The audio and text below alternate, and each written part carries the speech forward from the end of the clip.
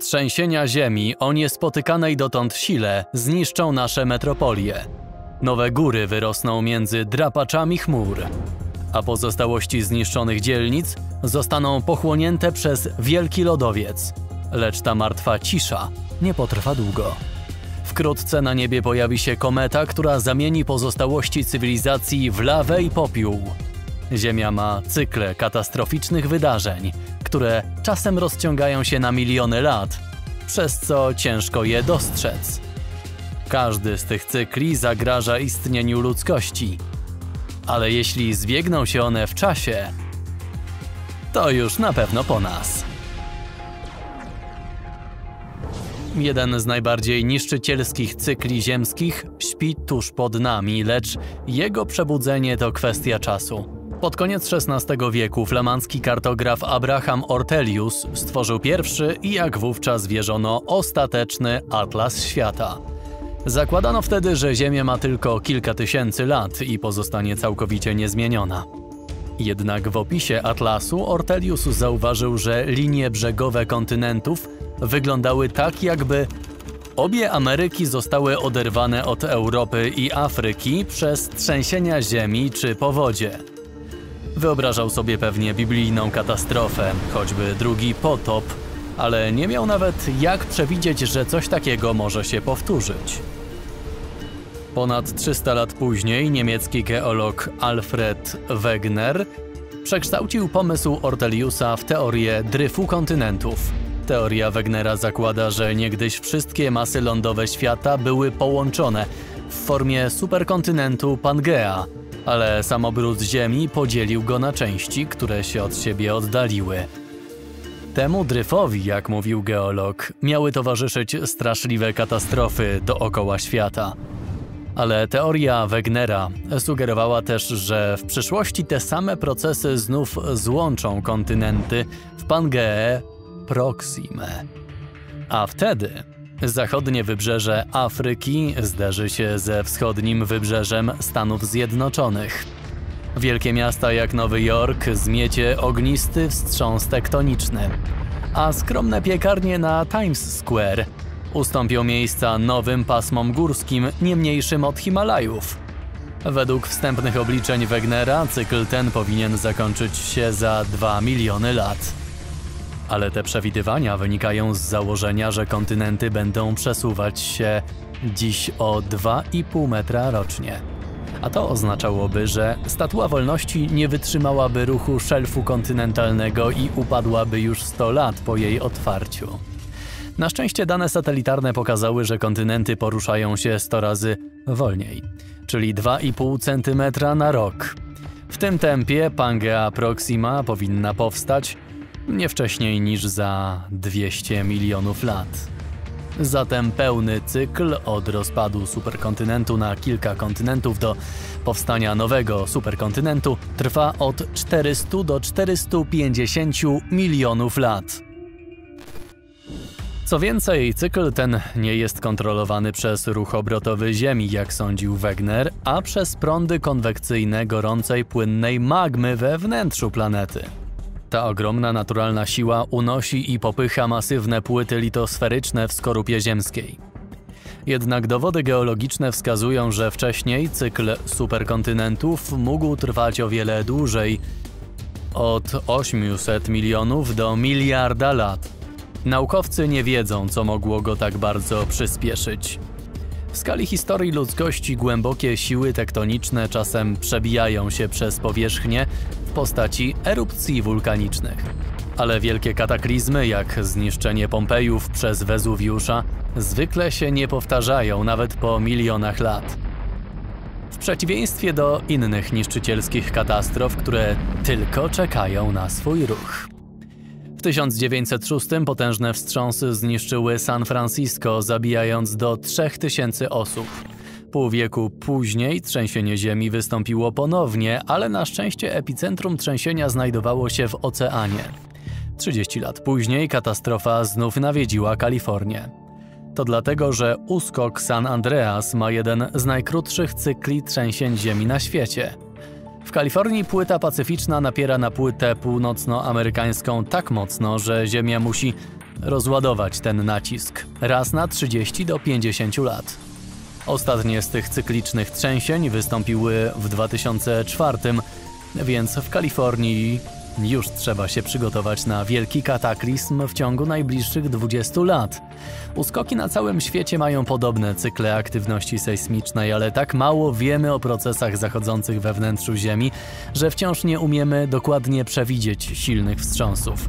Zwłaszcza, że czasem trzęsienia występują nagle i nie pasują do żadnych cykli. Niektórzy naukowcy mówią, że elektromagnetyczny wpływ Słońca bywa tak ogromny, że obciąża płaszcz Ziemi od wewnątrz, a uwolnienie ładunku powoduje nagłe trzęsienia Ziemi. To tylko jedna z wielu sztuczek naszej gwiazdy. Słońce ma własny tajemniczy cykl apokalipsy, a my wciąż próbujemy go rozgryźć. W 1826 niemiecki astronom Heinrich Schwab chciał za wszelką cenę znaleźć mityczną planetę wulkan między Merkurym a Słońcem. Musiał uchwycić moment, w którym ciało niebieskie prześlizgnie się tuż przed tarczą słoneczną. Aby nie pomylić go z plamą słoneczną, Schwab zaczął szkicować te obszary niemal codziennie przez ponad 15 lat. Nie znalazł planety wulkan, ale odkrył, że liczba plam słonecznych rośnie i maleje średnio co 10 lat. Odkrycie to zszokowało szwajcarskiego astronoma Rudolfa Wolfa. Natychmiast dostrzegł on, że wahanie aktywności słonecznej musi mieć globalne konsekwencje dla życia na Ziemi. Z niezdrowym wręcz uporem Wolf zbierał wszystkie dane obserwacyjne z wielu stuleci i oszacował, że cykle słoneczne trwają około 11 lat. Jednak w połowie XIX wieku ani Wolf, ani inni naukowcy nie odkryli prawdziwego znaczenia plam. Dlatego też nie mogli przewidzieć katastrofy, która wydarzyła się cykl później. Rankiem 1 września 1859 brytyjski astronom Richard Carrington jak co dzień skierował teleskop na Słońce. Tym razem jednak jego oczom ukazały się niewidzialne dotąd wielkie plamy, z których każda była znacznie większa od Ziemi. Nagle wyrzuciły z siebie ogromną masę jasnej plazmy, zupełnie jak wulkany. Gdyby nasza planeta była w pobliżu, natychmiast zostałaby spalona. Ale nawet mimo odległości, wieczorem tego dnia fala uderzeniowa ze Słońcem była odczuwalna na Ziemi. Zorza polarna rozświetliła niebo od Kanady po Zatokę Meksykańską. Próbując przesłać ostrzeżenie, operatorzy telegrafu odpowiednika internetu z tamtych czasów doznali silnych wstrząsów elektrycznych, a nawet poparzeń. Tę straszną burzę słoneczną, która dosłownie zmiażdżyła ziemskie pole magnetyczne, nazwano po Carringtonie. A był to dopiero początek. W 1921 burza słoneczna wyłączyła telefony na całym świecie. W 72 burza geomagnetyczna zdetonowała amerykańskie miny u wybrzeży Wietnamu. W 89 kanadyjska prowincja Quebec straciła prąd. A w 2012 burza Carringtona się powtórzyła, ale Ziemia cudem uniknęła wyrzutu plazmy w ostatniej chwili.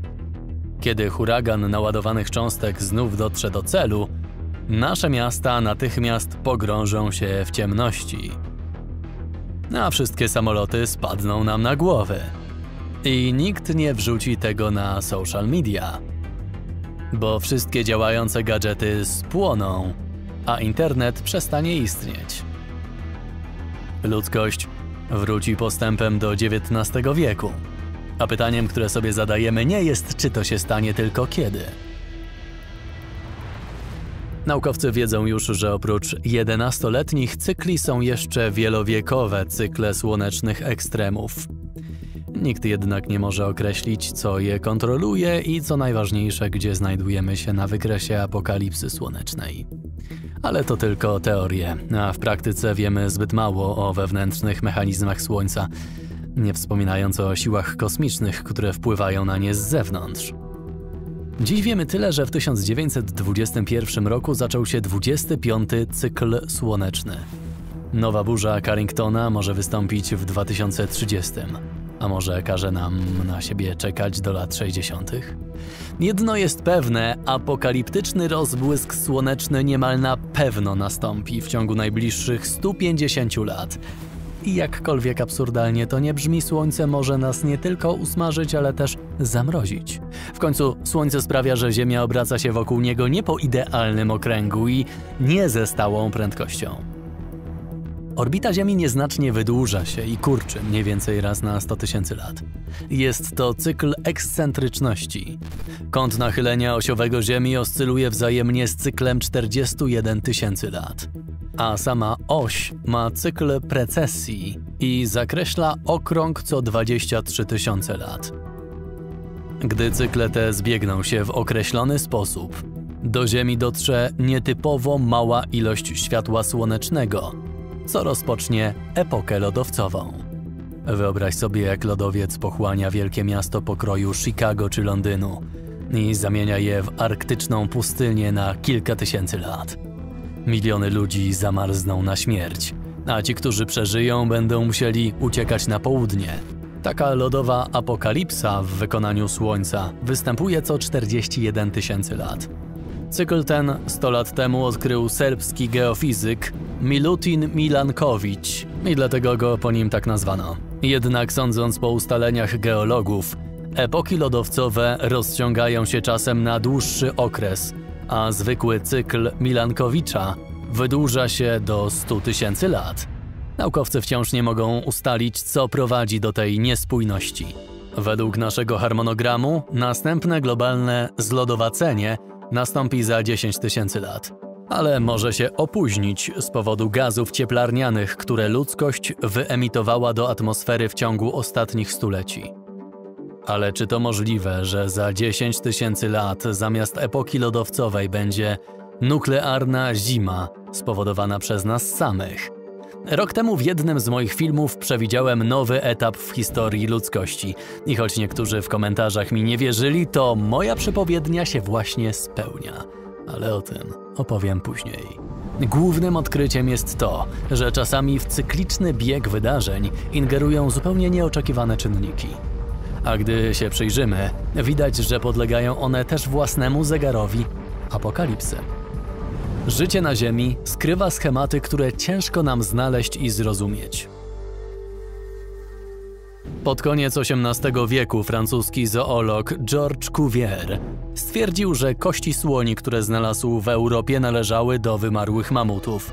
Stało się to niemałą sensacją, bo naukowcy myśleli, że z Ziemi nie zniknął ani jeden gatunek, a tym bardziej nie pojawiły się nowe. Co niezwykłe, Cuvier stwierdził, że mamuty zabiła jakaś straszliwa katastrofa. Jego zdaniem Ziemia była niszczona przez superburzę z wielkimi powodziami raz na kilka tysięcy lat, a życie rodziło się na nowo. Inni uczeni wyśmiali Cuviera, nazywając teorię przejawem katastrofizmu. Brytyjski profesor Carol Darwin też był sceptyczny, ale nie zgadzał się z Cuvierem tylko częściowo. Twierdził, że gatunki na Ziemi faktycznie się wzajemnie zastępowały, ale w wyniku naturalnej ewolucji, a nie katastrof.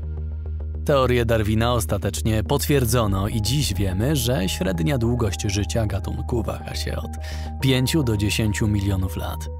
Mamuty podbiły północne regiony Ziemi 5 milionów lat temu. Rozmnażały się tak licznie, że zdominowały ten obszar ale 200 tysięcy lat temu te olbrzymy musiały uznać wyższość nowego, agresywnego drapieżnika Neandertalczyków. Ten z kolei 40 tysięcy lat temu też został wyeliminowany przez najsilniejszy gatunek we współczesnej historii. Najpierw polegli Neandertalczycy, a 5 tysięcy lat temu mamuty. Gatunkiem tym był inteligentny i odważny Homo sapiens. Pierwsi przodkowie współczesnych ludzi pojawili się 2 miliony lat temu. A że nie mamy sobie równych, to nasz gatunek ma przed sobą jeszcze co najmniej połowę życia. Jednak biorąc pod uwagę, że opanowaliśmy niemal całą Ziemię i wybiliśmy najgroźniejszych drapieżników, z perspektywy ewolucji Homo sapiens mógłby przeżyć wieczność. I pewnie by tak było, gdyby George Cuvier ze swym katastrofizmem nie okazał się mieć racji. W 2021 amerykańscy naukowcy opisali w czasopiśmie Geoscience Frontiers niezwykłe odkrycie. Otóż wszystkie globalne wymierania na Ziemi w ostatnich epokach podlegają nieznanemu wcześniej cyklowi trwającemu 27,5 miliona lat. Tak jakby Ziemia miała puls i z każdym uderzeniem wiele gatunków jednocześnie znika z jej powierzchni. A co najdziwniejsze, każda katastrofa jest zupełnie inna. Jedno uderzenie odpowiada powodziom spowodowanym zmianami poziomu oceanów, o których wspominał Cuvier. Inny powoduje zlodowocenie, przez które ciepłolubne gatunki zamarzają na śmierć. Trzeci prowadzi do erupcji superwulkanu. Naukowcy sądzą, że 70 tysięcy lat temu potężna erupcja superwulkanu Toba zepchnęła ludzkość na skraj wyginięcia. Według jednej z teorii, ze wszystkich naszych przodków przeżyło ledwo kilka tysięcy osób. A ta straszna katastrofa nie była nawet częścią tajemniczego pulsu Ziemi, który jest jeszcze bardziej niszczycielski. Teraz mamy kolejne 20 milionów lat przed następnym uderzeniem. Brzmi jak kupa czasu. Ale jeśli nie dowiemy się, jaka tajemnicza siła kryje się za pulsem Ziemi, to nie tylko zmarnujemy ten czas. Naukowcy głowią się, jaki mechanizm może spowodować powodzie, zlodowacenia, trzęsienia Ziemi i inne cykliczne katastrofy. Trzeba poszukać czegoś bardziej globalnego niż dryf kontynentów, zmiany orbity Ziemi, a nawet kaprysy Słońca. W słynnym wykresie masowego wymierania jest jedno wydarzenie, które wyróżnia się na tle innych i może pomóc nam rozwikłać zagadkę. Można się domyślić, o które wydarzenie chodzi. Uderzenie asteroidy, które zgładziło dinozaury, pokrywa się też z jednym z pulsów Ziemi.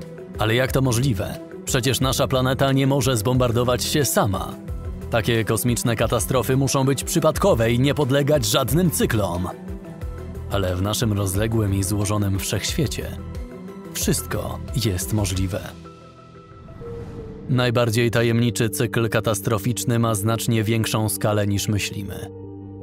Od końca lat 70., gdy geolodzy Walter i Luis Alvarez odkryli krater Chicxulub, powstały w wyniku uderzenia ogromnej asteroidy w Zatoce Meksykańskiej, setki naukowców próbowało odpowiedzieć na pytanie – kiedy Ziemia znów zostanie zbombardowana. Aby odkryć cykl zabójczych asteroid, musimy ustalić daty wszystkich poprzednich uderzeń. Ale nawet po kilku tysiącach lat znalezienie dowodów takiej katastrofy może być bardzo trudne. Nawet z naocznymi świadkami.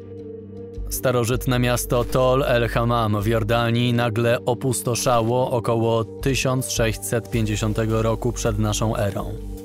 Archeolodzy opracowali różne teorie i dopiero niedawno odkryli stopione kamienie, spalone przedmioty gospodarstwa domowego i półtora metrową warstwę popiołu. A że w pobliżu nie ma wulkanów, jedynym możliwym wyjaśnieniem jest mała kometa lub asteroida, która spaliła całą zabudowę wraz z mieszkańcami. Co więcej, obiekt ten nie spadł na ziemię, a eksplodował w locie, nie pozostawiając krateru, podobnie jak meteor czelabiński – w 2013. Najbardziej widoczny ślad tego obiektu jest zapisany w biblijnej opowieści o zagładzie Sodomy i Gomory. Ale wielka asteroida, która zniszczyłaby całą ludzkość, musiałaby zostawić po sobie krater, prawda? Niestety erozja i inne naturalne procesy na Ziemi mogą doskonale zatrzeć ślady nawet potężnych uderzeń. Po dziesięcioleciach badań Naukowcy mogą śmiało wymienić tylko kilkanaście poważnych katastrof kosmicznych w ciągu ostatnich dwóch miliardów lat. Nie wygląda to na cykl. Najdokładniejszy szacunek, jaki mogą podać naukowcy, to jedna apokalipsa co 4 lub 40 milionów lat. Więc przewidzenie następnego uderzenia jest praktycznie niemożliwe. Właśnie dlatego NASA poświęciła 20 lat i mnóstwo zasobów, by wykryć wszystkie potencjalnie niebezpieczne asteroidy w pobliżu Ziemi. Naukowcy znaleźli dotąd 90% wszystkich potencjalnie niebezpiecznych obiektów między Słońcem a pasem asteroid. Według tych danych jesteśmy bezpieczni przez co najmniej kolejne 100, jeśli nie 1000 lat. I moglibyśmy tak to zostawić, ale wszystkie obiekty znalezione przez NASA to tylko kropla w ogromnym oceanie kosmicznych zabójców. Oto obłok Oorta, znajdujący się dwa lata świetlne od Słońca. Jest to ledwo widoczna ogromna bańka komet.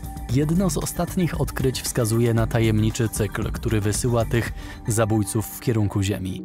W sierpniu 2022 roku naukowcy z Uniwersytetu Curtin w Australii badali starożytne płyty tektoniczne w swoim kraju i Ameryce Północnej. Mimo ogromnej odległości między nimi, naukowcy dostrzegli ten sam wzór. Sądząc po charakterze złóż krystalicznych, 3,5 miliarda lat temu na Ziemię spadła wielka kometa. Uderzenie było tak silne, że przebiło skorupę ziemską aż do płaszcza, zamieniając znaczną część oceanów w krainę stopionej lawy. Obliczono, że prędkość obiektu musiała osiągnąć od 60 do 70 km na sekundę, czyli trzy razy szybciej niż prędkość asteroidy, która zabiła dinozaury. To tak jakby porównać samolot do opryskiwania pól z odrzutowcem.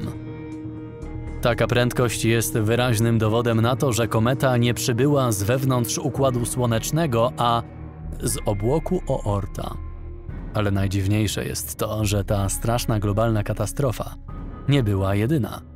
Po zbadaniu wszystkich dostępnych warstw geologicznych naukowcy odkryli, że podobne apokalipsy lawowe, z rzadkimi wyjątkami, występowały w odstępach od około 170 do 200 milionów lat. Ale w Układzie Słonecznym nie ma długiego cyklu, który wysyłałby do nas zabójcze komety tak regularnie. Istnieje za to daleko poza nim. Naprawdę istnieje. Obecnie Układ Słoneczny wraz z planetami i kometami pędzi przez drogę mleczną z prędkością 240 km na sekundę. Pełny obrót wokół jej centrum z supermasywną czarną dziurą oddaloną o dziesiątki tysięcy lat świetlnych zajmuje nam 225 milionów lat. Na pierwszy rzut oka nie jest to liczba, której szukamy, ale nasza galaktyka składa się z czegoś więcej niż tylko pojedynczych gwiazd. Jej duże ramiona spiralne, pełne skupisk gwiazd i pyłu gazowego, obracają się wokół centrum nieco wolniej i wykonują jeden obrót na dokładnie 200 milionów lat. Naukowcy sądzą, że gdy Układ Słoneczny wejdzie w strefę zwiększonej gęstości galaktycznej, zewnętrzne perturbacje grawitacyjne wytrącą pewne komety w obłoku Oorta z ich stabilnych orbit i wyrzucą je w kierunku Ziemi z ogromną prędkością. Naukowcy twierdzą, że te potężne zderzenia mogłyby rozdzielić wiele superkontynentów w historii Ziemi i przyspieszyć ich cykle. Takie kataklizmy z kolei spowodowały drastyczne zmiany klimatyczne z przedłużającymi się epokami lodowcowymi, nie mówiąc już o nagłym masowym wymieraniu. Co więcej, pole magnetyczne Słońca może doświadczyć przeciążeń podczas przechodzenia przez gęste regiony galaktyki, więc emisje plazmy mogą stać się częstsze. No i oto nasze brakujące ogniwo w katastrofalnych cyklach Ziemi. Australijscy geolodzy mówią, że ostatni raz przechodziliśmy przez galaktyczne ramię 66 milionów lat temu. Czy więc zostało nam 130 milionów lat do spotkania z kolejną zabójczą kometą? Niestety diabeł tkwi w tych wyjątkach od cyklu komet. Czasami uderzenia miały miejsce w okresach, w których układ słoneczny miał znajdować się z dala od niebezpiecznych, gęstych obszarów. Mogę pokazać tyle szczegółowych animacji drogi mlecznej, ile chcę, ale to nie zmieni faktu, że astronomowie nie mają pewności co do ilości i położenia jej ramion. Po prostu nie widzimy połowy galaktyki leżącej za jej jasnym jądrem. Co więcej, te perturbacje grawitacyjne mogą też powodować międzygwiezdne skupiska ciemnej materii, które są dla nas kompletnie niewidoczne. Więc kto wie, może właśnie teraz zabójcza kometa zmierza w naszym kierunku z obłoku Oorta. Jeśli tak, to arsenał nuklearny całego świata jest naszym jedynym cieniem szansy na odchylenie jej od Ziemi i przerwanie śmiercionośnego kosmicznego cyklu. Ale to tylko pod warunkiem, że ludzkość zakończy własne niszczycielskie cykle. W tamtym filmie sprzed roku wspomniałem o austriackim socjologu Arno Tauschu, który opublikował zdumiewającą pracę naukową w 2007.